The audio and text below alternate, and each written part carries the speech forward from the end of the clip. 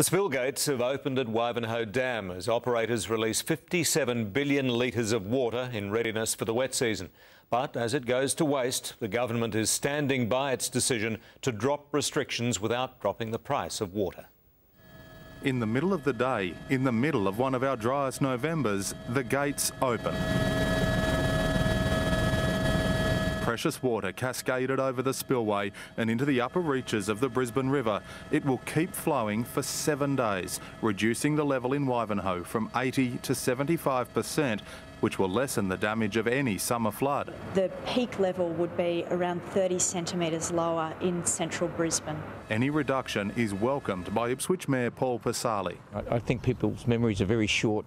I'd rather deal with a drought than a flood. Work to repair Savages Crossing at Fernvale has been ongoing since January's flood. The bridge has been closed as a precaution, but officials say the impact further downstream will be minimal. They've been extra cautious. Computer programs predict how far the water will rise, but the flood changed the contours of the river so significantly the modelling may have been affected.